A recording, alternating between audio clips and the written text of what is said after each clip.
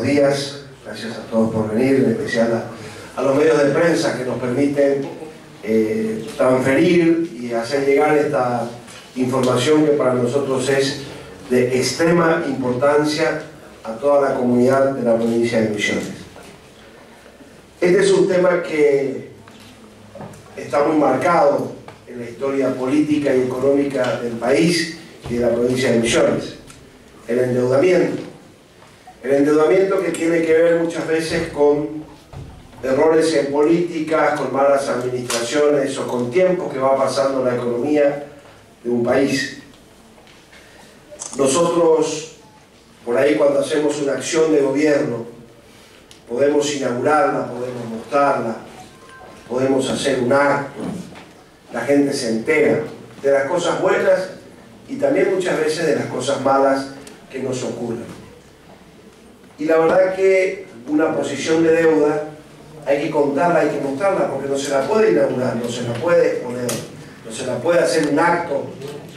Por eso, ante algo que para nosotros es de extrema importancia, y algo que es seguramente uno de los logros de estos tiempos más fuertes que hemos alcanzado, ya como lo hicimos en otras oportunidades, luego de haber firmado los programas de desendeudamiento con el gobierno nacional, hoy los volvemos a convocar para informar la situación del estado y el stock de la deuda de la provincia de Misiones y en este caso con algunos elementos de análisis que queremos de alguna forma u otra acercar para que se vea la importancia de haber desendeudado la provincia. Yo creo claramente que este es uno de los principales logros de gobierno de estos últimos años que influye en el resultado de la gestión del día a día y que por sobre todas las cosas tiene una enorme influencia en el resultado de futuras gestiones y de futuras generaciones de la provincia de Misiones, que hace a la calidad de la administración pública, a la calidad de la administración de los recursos, a honrar la confianza que han depositado los misioneros en nosotros a la hora de darnos la facultad de administrar sus recursos y que hoy lo podemos mostrar con mucho entusiasmo este muy buen resultado. Yo voy a trabajar con dos criterios de stock de deuda. Un criterio de stock de deuda que es el stock de deuda con el gobierno nacional y otro que es el criterio de stock de deuda general. El stock de deuda con el gobierno nacional está compuesto por todos los PFO PAF o programas de ordenamiento financiero que se fueron firmando desde hace más de 10 años y se suman a ellos las deudas con organismos internacionales que se han tomado y que en definitiva es la nación argentina la que paga y que luego nos descuenta. Cuando uno compara el estado de deuda con el gobierno nacional, da un número y cuando compara el estado de deuda total, da otro número porque ahí se suman básicamente los bonos que se han emitido y que como ustedes saben, esos bonos semis, junior y senior han sido emitidos íntegramente en la década del 90. La fortaleza, el número que ustedes van a ver acá, está dado porque en todos estos años, Misiones, contado con los dedos de las manos, es una de las pocas provincias del país que en todos estos años no ha necesitado emitir un solo bono para endeudarse, sea para pagar sueldos, para construir una obra o para cualquiera de las acciones de política social, económica o productiva que se haya hecho en estos años. El stock de la deuda con el gobierno nacional lo comparo en este caso con los presupuestos, pero incorporamos en esta presentación un dato que hace al análisis mucho más objetivo y mucho más real que es el presupuesto ejecutado, no el presupuesto aprobado por la legislatura, sino al cabo del final del año, las autoridades propias, los órganos de la constitución que tiene esta provincia, muestran cuánto se ha ejecutado. Como le pasa a cada uno de los funcionarios de gobierno, tienen un presupuesto anual en la ley y luego al cabo del año van ejecutando otro presupuesto. Vamos a tener luego informaciones anteriores pero básicamente vemos que en el 2007 nosotros teníamos un stock de deuda con el gobierno nacional de 2.812 y el presupuesto era de 3.572. Era muy parecido la deuda que teníamos con el gobierno nacional con el presupuesto. A partir de ahí, el presupuesto va creciendo. Va creciendo porque crece la economía y porque va creciendo, porque crece la recaudación también en virtud del impacto de la inflación. Pero nosotros vamos manteniendo la deuda y si ustedes ven para marcar un hito en el 2011, ya esa deuda y, y presupuesto que eran parecidos se transforman en un tercio. Tenemos 3.127 de deuda y 9.033 crece nuestro presupuesto. Y si vemos al 2014, tenemos 3.255 de deuda y tenemos un presupuesto de 26.000 ejecutados, que no es un número cerrado todavía el 26.000. Y proyectamos el 2015 con una deuda que está en 2.696 y el presupuesto es de 33.000, es decir, el peso de la deuda sobre el presupuesto disminuyó de una manera increíble y notable. Y ustedes verán que hay cuatro cuadraditos en épocas que van del 2010 hasta el último, que es ahora el convenio que firmó el vicegobernador, donde se acreditan ATNs. Eso es lo que hace que la deuda baja. Porque nosotros no solamente no tomamos deuda, sino que el gobierno nacional de la plata que nos retiene mes a mes por aporte del Tesoro Nacional, nos compensa y nos ha dado cuatro compensaciones por un total a hoy, valores nominales, de 1.511 millones. Por eso nosotros tenemos en épocas niveles de deuda de 3.000 y pico de millones y hoy tenemos 2.696 porque no solo que no pagamos la deuda, porque no estamos pagando, porque hay plazos de gracia, sino que esa parte que no pagamos, luego la compensamos con aportes del Tesoro Nacional. Y esos aportes del Tesoro Nacional, si bien no es plata cantante y sonante que entra a la provincia, fue generando en estos años un enorme desendeudamiento. Y fue la noticia buena que recibimos estos días cuando viene la firma de este nuevo convenio, porque se nos acreditaron 427 millones de pesos más, que fue una de las acreditaciones más grandes. En el 2014 se nos había acreditado 411 y cuando esto arranca en el 2010 se nos habían acreditado 508 y una vez 164. Eso es entonces el dato de nuestra relación con la deuda del gobierno nacional. Esto está traducido a porcentajes es decir, un 78% del presupuesto en el 2007, un 34% en el 2011 y va a ser un 8,15% en lo que nosotros calculamos la ejecución presupuestaria del 2015. Esa es la relación de nuestra deuda con el gobierno nacional conforme al presupuesto. Ahora vamos a ver el estado de deuda total. La situación cambia solamente en la columna roja porque aumenta la deuda porque se cargan los bonos senior, junior y semis. Es la deuda que tenemos, que tampoco hoy día es un problema apremiante para el gobierno de la provincia, puesto que el tenedor de esos bonos mayoritariamente es el ANSES. Que también, si ustedes se ponen a mirar, el ANSES nos debe bastante plata a nosotros. Entonces, si en algún momento hubiera problemas, nosotros tenemos también acreencias con el ANSES. La situación cambia simplemente los números y se ve que llegamos de tener una deuda de 3.215, casi igual al presupuesto, a este momento a 3.630, a 33.000 de lo que es el presupuesto. La diferencia entre 3.600 millones y 2.600 millones son 100 millones de dólares de bonos senior y junior y un 25 millones de dólares de semis, eso multiplicado al tipo de cambio oficial te da ese valor. No es que nosotros tomamos más deuda, para nada. El stock de deuda es exactamente el mismo en valores nominales en dólares que actualizado al tipo de cambio da ese valor de deuda total de la provincia de Misiones. Con la misma lógica, nosotros vemos que en, el, en el siguiente, que el stock de deuda era del 90% total y ahora es del 10,96%. Yo siempre decía un dígito y es altamente probable que si subimos un poco la recaudación o crece un poco la economía, en el 2015 tengamos un dígito de endeudamiento sobre el presupuesto y sin, pero sin duda alguna en el 2016 esto va a estar en niveles cercanos al, al 8% sobre presupuesto. La deuda total donde incluye los bonos emitidos íntegramente en la década del 90. Ahora yo quiero hacer en esta presentación que se mida la magnitud que tiene en el día a día del gobierno. Entonces comparo con algunos elementos, en este caso con la masa salarial. En el año 2007, que fue la primera masa salarial que yo tuve que mirar, la de diciembre del 2007 fue 90 millones de pesos. Esa era la masa salarial.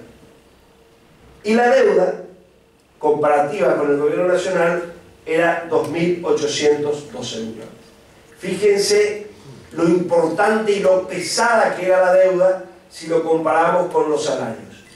Ven la evolución, pongo otro hito en el 2011, era 212 millones y la deuda era 3.127 y hoy en el 2015 la deuda total es 2.696 con el gobierno nacional que equivale a 912 lo que nosotros proyectamos que va a ser la masa salarial promedio del año 2015. Traducido esto en números bien concretos, en el año 2007 nosotros debíamos el equivalente al gobierno nacional a 31 masas salariales. En el año 2011 pasamos a deber el equivalente a 14 y ahora pasamos a deber el equivalente a 3.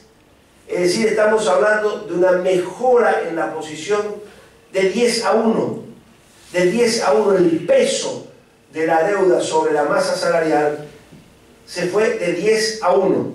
Y en la misma lógica, podemos mostrar sobre la deuda total, ustedes saben que cambia el ingreso de los bonos, y era de 3.215 a 3.630 y como vemos era de 35,6 masas salariales lo que se debía a 4 masas salariales que es lo que se debe en este momento. Es decir, si agarramos 4 masas salariales pagamos el 100% de nuestra deuda.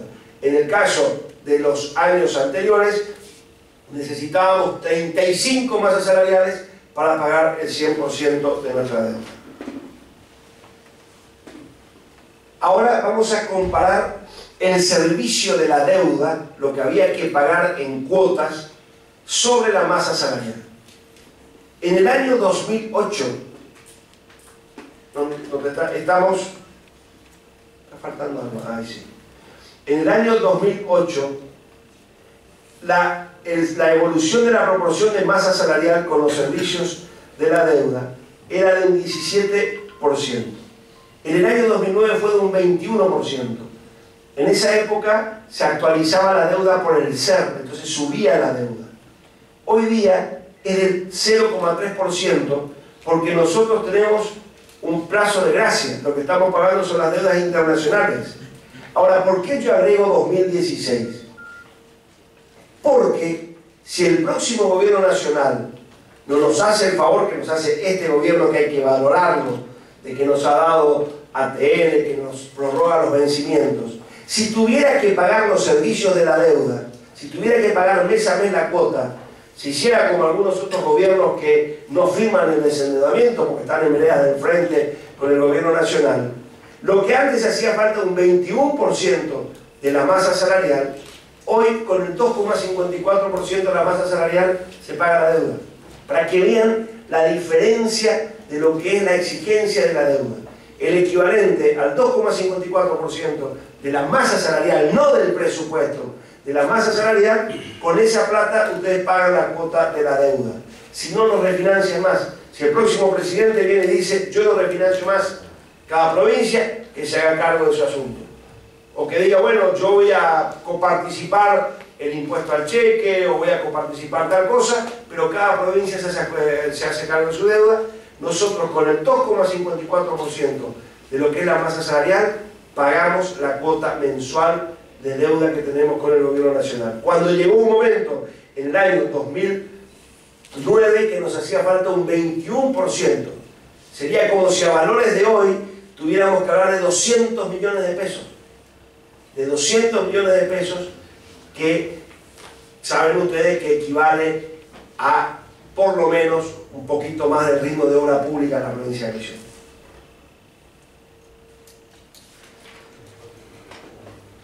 Ahora, el servicio de la deuda sobre el presupuesto, no sobre la masa salarial.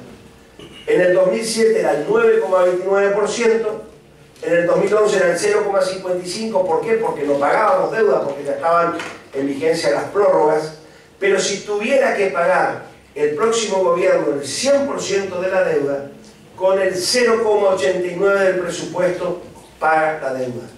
Con el 0,89. De cada 100 pesos que administra, tiene que asignar menos de uno para pagar la deuda si hubiera que pagar el 100%.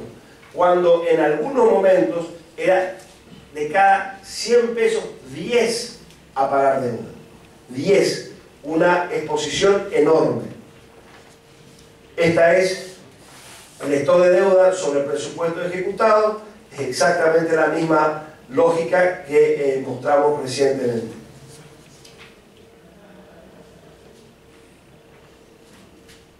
Llegamos a tener, fíjense, el estado de deuda del gobierno nacional sobre presupuestos ejecutados.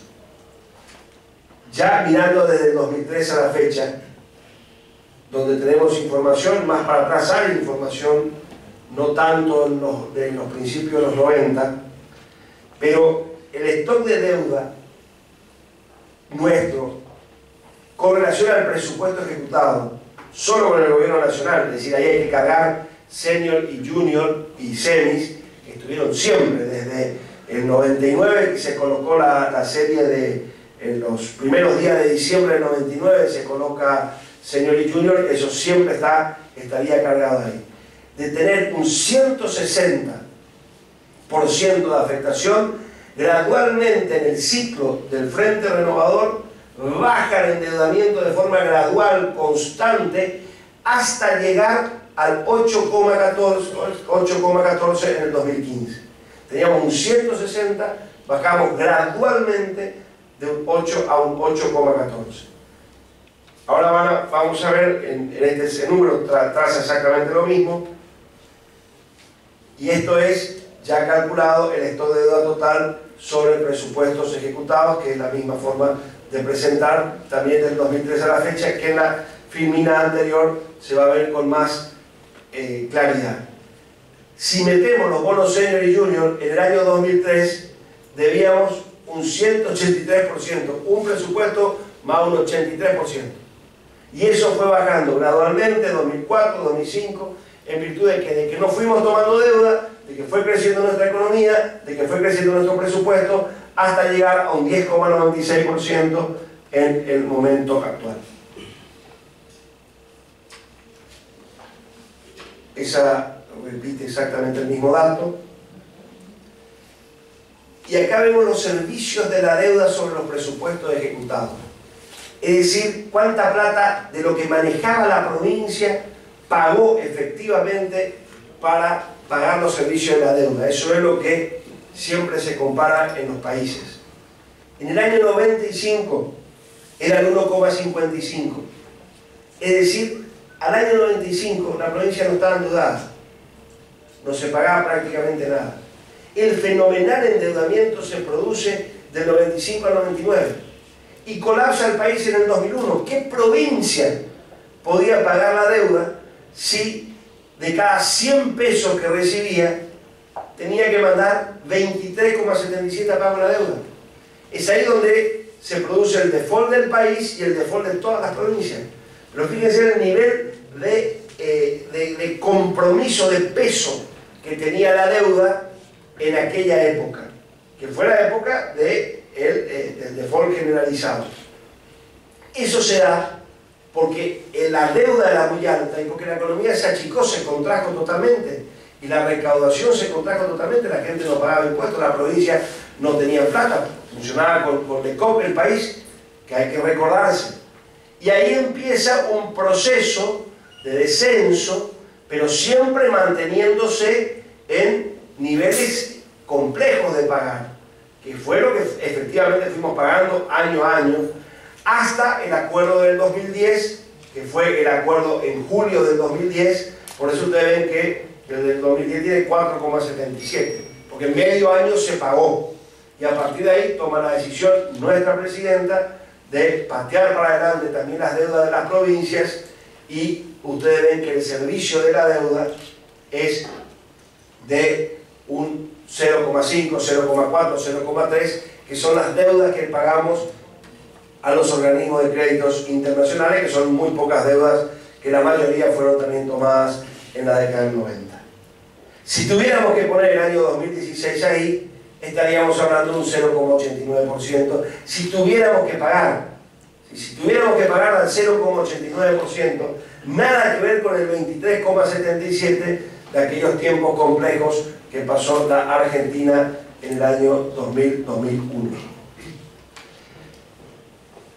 En la evolución del endeudamiento, según la moneda, esto ya lo mostramos muchas veces, el endeudamiento nuestro era en el año 99 en dólares, casi su totalidad, había una deuda de 740 millones de dólares y apenas de 172 en pesos, y con la ayuda de los procesos de refinanciación y la nacionalización de la deuda, hoy tenemos en dólares 278, donde ahí están cargados los benditos bonos estos, pero el peso de la deuda de un 93% es la deuda con el gobierno nacional, que es absolutamente todo en pesos. Eso nos deja a cubierto a nosotros, pero en especial a las próximas gestiones, de lo que pueden ser los vaivenes del tipo de cambio. Si el tipo de cambio se corre, como yo creo que inexorablemente va a tener que correr el próximo gobierno, el tipo de cambio, especialmente para que no tengamos problemas en la economía tealera, en la economía tabacalera, en la economía forestal, en la economía de los vinos, en la economía de las frutas frescas, de las peras, de las manzanas, el próximo gobierno tendrá beneficios porque su economía se moverá mejor, pero tendrá por ahí perjuicios porque el peso de la deuda en dólares va a tener un tipo de cambio más devaluado del peso. Ahora, ese problema Misiones no lo tiene. Hay provincias que en, en estos días están colocando deuda a dólar linker. Significa que en el momento del vencimiento la deuda se ajusta al tipo de cambio oficial. Nosotros ese problema no lo tenemos porque no solamente nos estamos colocando deuda, sino que la mayor parte de nuestra deuda es en pesos. Es más, es más, seguro que vamos a tener la ventaja de que corrido el tipo de cambio, que seguro se va a correr, inexorablemente, en algún momento del próximo gobierno lo va a correr, generará, como todo corrimiento del tipo de cambio, un inicial impacto inflacionario, que luego lo tendrá que domar, y eso va a que a licuar nuestra deuda. Si nosotros vamos a estar hablando, casi seguro, venimos a decirlo, en el año 2017, de una deuda que no va a ser superior al 5% del presupuesto. Le aseguro que no va a ser superior del ejecutado en el 2017, si ya no en el 2016, cercano al 5% del presupuesto. Y el acreedor, como ustedes ven, era en el año 99 un 42% de las entidades financieras. Misiones tuvo una particularidad. Mientras otras provincias emitieron moneda, Misiones no emitió moneda. Se financió con descubierto en aquella época. Una cosa eh, muy rara porque generaba un, movimiento de intereses. Acuérdense que había estabilidad cambiaria, no había inflación, entonces si vos pagabas 20% de interés, era 20% que te faltaba. Eh, fue un, y eso fue lo que se estatizó las posiciones de deuda, que creo que era con el Banco Macro, el Banco Galicia, eran conocidas las, deudas. Después títulos públicos provinciales, que son los que venimos hablando, al gobierno nacional se le debía poco, y en el momento de hoy ustedes ven que la mayor deuda es con el gobierno de la nación argentina, donde ahí sí también están cargadas las deudas internacionales. Como ven, la deuda al 31-12 del 2014 no le cierra con la deuda que yo presenté recién, porque tuvimos la acreditación de los 400 y pico millones de ATN que se produjo en el día de hoy, se publicó en el boletín oficial. Una, una cosa que a partir de hoy tiene vigencia esa acreditación. Esto yo le pido a los, a los medios de prensa que, que le den importancia, que, que se trabaje este tema, porque es un tema de enorme valor para la provincia. Es un enorme logro de todos los misioneros, no nuestros. Nosotros tuvimos desde este tiempo la responsabilidad de, de, hacer y de tomar decisiones políticas, eh, de administrar la provincia. Hay veces que las decisiones no son simpáticas, por ejemplo nuestra política fiscal que, que nos genera muchas veces eh, dolores de cabeza, pero el misionero tiene que tener la tranquilidad que su provincia está eh, estuvo en estos años bien administrada. Y estos son resultados que le dejan las manos libres a futuras gestiones. El endeudamiento de por sí no es malo. Si a mí vinieran créditos internacionales para electrificación o para rutas o para vivienda, como hay tipo ProSap, y nos ofrecieran 100, 200 millones de dólares, y yo agarraría, porque son créditos algunos a 25 años, con tasas bajas.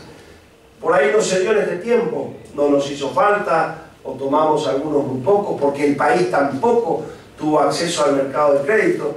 Cuando un país no tiene acceso al mercado de crédito, difícilmente una provincia lo tenga.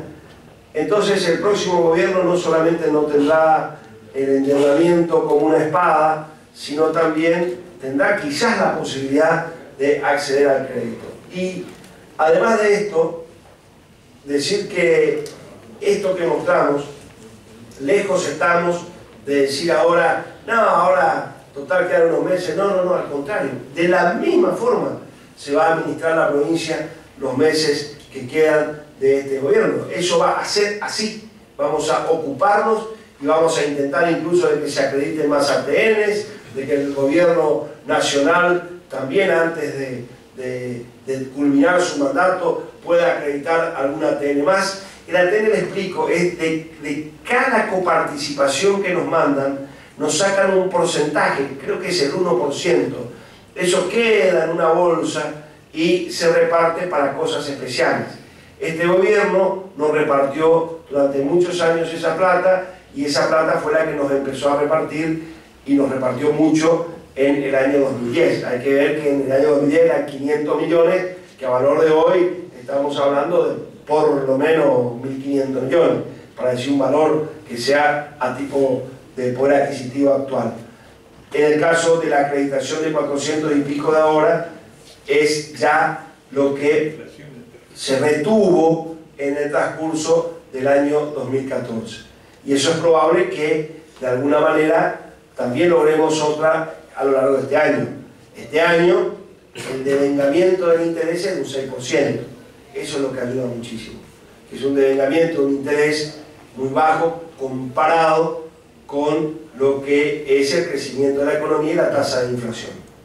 Así que esto es lo que queríamos contarle. El ministro de Hacienda va a estar en estos días, yo le pedí que atienda a, los periodistas en, en reuniones o en salidas al aire, puntualmente. También quiero que vaya al interior porque estas noticias que son muy buenas y que muestran una calidad en la gestión tienen que ser conocidas por todos los misioneros. Sé que los medios de acá tienen alcance eh, provincial, pero que me parece que vale la pena mostrar estos números también en el interior de la provincia y por sobre todas las cosas insistir en que este resultado lo logramos entre todos, sin parar obra pública, sin parar políticas sociales, sin parar políticas productivas, sin eh, parar ningún tipo de las iniciativas del Estado.